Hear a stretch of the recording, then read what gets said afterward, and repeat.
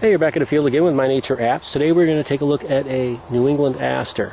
And as you can tell, it's a central disc flower, beautiful yellow center on there, um, numerous petals, or ray flowers as they're called.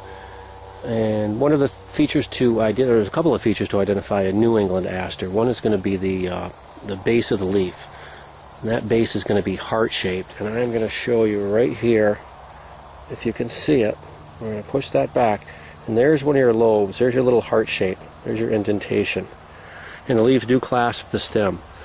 And the stem itself is going to have a red tint to it. Uh, very hairy. You can see the white hairs really well on this picture. Um, the leaves are going to be oblong in shape, uh, longer than they are wide. And they're going to have a, a toothed margin to a degree, sparsely toothed to smooth. Depends on which leaf you're looking at. It's a little vary. Uh, there's some variation on that. And this plant can grow up to uh, over five foot tall. Uh, it can be a very tall wildflower. A very pretty one. That's going to be a late summer flower. And there you go, New England aster. Thanks for joining us. Find us on the web, mynatureapps.com. Have a great day in the field.